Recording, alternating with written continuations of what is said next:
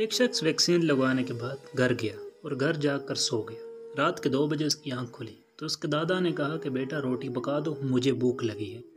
लड़का उठा, रोटी पकाई, साथ अंडा पका कर ले आया और दादा अबू इसे नहीं मिले, ना ही इनकी कोई चारपाई मौजूद थी। फिर दादी अम्मा को जगा कर पूछा कि, दादा अबू कहाँ गए?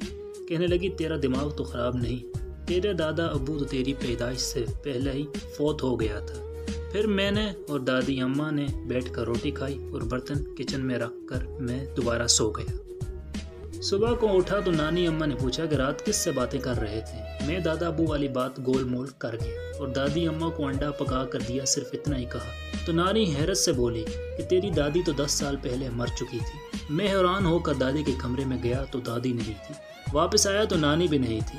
फिर नौकरानी से पूछा तो उसने बताया कि तुम्हारी नानी तो पिछले ही साल फौत हो चुकी है। मैं रोता हुआ कमरे में आकर बैठा तो फिर मुझे ये बात याद आई कि हमारी कोई नौकरानी भी नहीं।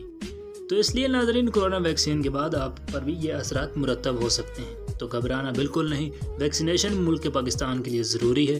अगर आपने भी अभी तक नहीं करवाई तो लाजमी वैक्सीनेशन करवा लें। तो दोस्तों, आपको हमारी वीडियो कैसी लगी? लाइक, कमेंट्स और चैनल को सब्सक्राइब ज़रूर कीजिएगा